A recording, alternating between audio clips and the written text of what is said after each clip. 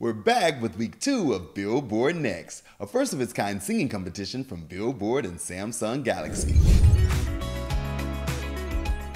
Using their Samsung Galaxy Z Flip 3 5G, contestants were tasked with taking a popular song we know and love and completely swapping the genre. Let's see what we got this week. The iconic Misery Business was a favorite for our contestants. And they chose to rework it in all kinds of different ways. The takes range from soulful R&B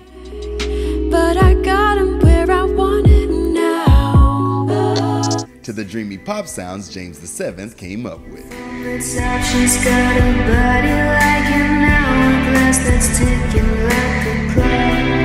But Complicated was a close second favorite for the Billboard NXT contestants.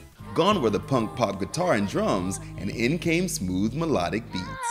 Why'd you have to go and make things so complicated?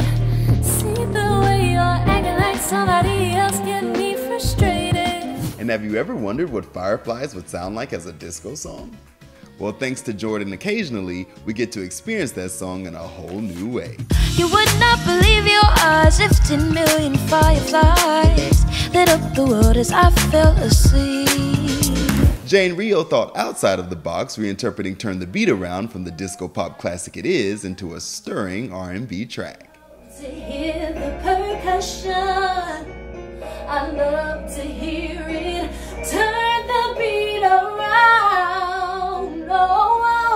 to hear the percussion. We're officially halfway done with the Billboard NXT Challenges, and our Billboard chart ranking the contestants is live at Billboard.com. And don't forget, at the end of the challenges, our top three contestants will be paired with a celebrity mentor, Charli XCX, Anitta, or Todrick Hall. Our mentors will be coaching the top three finalists ahead of the grand finale event, where the winner of Billboard NXT will be determined. So make sure you keep a close eye on the Billboard chart and tune in next week for the new challenge.